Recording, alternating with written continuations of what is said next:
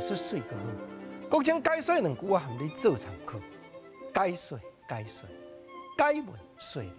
好比咱来讲甲午战争，日本占台湾，台北城内清廷的大官小官讲，咱来成立台湾民主国。咱知影，大总统都是孙武、黄景祥，啊那副总统是苗栗东路客家人，考调进士、学问家屈鸿嘉。在迄个时阵，又写一首汉诗，表明家己的心情。诗句讲：人间成败论英雄，野史风动恐未公。高柳斜阳为昨天，一时谈笑父母亡。诗句就是咧表明，迄个时阵咱知影，当经常大总统做迄个老亏代，看一个毋是生年哇！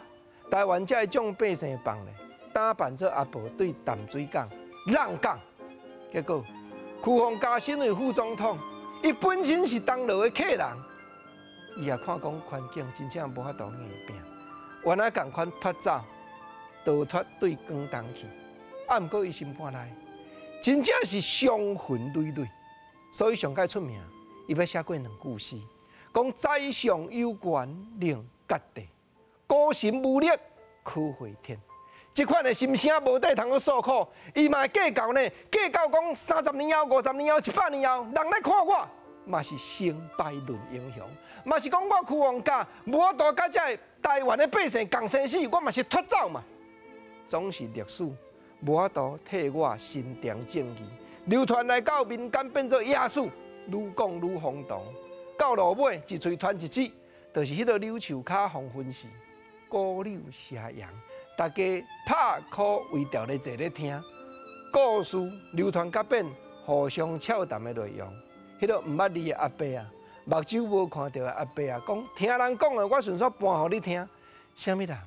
虾米人个要紧讲我屈王家是无奈脱走的，毋是讲要放台湾遮的乡亲，放台湾遮的百姓伫咧受苦楚，所以才会写一首诗。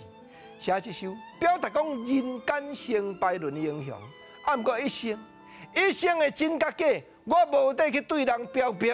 简单讲，这首汉诗，这是无奈的诗句，这是屈鸿嘉伫咧面对日本要来解关台湾的时阵，真正喊发出来，伊心肝内上界哀怨、上界不平的心声。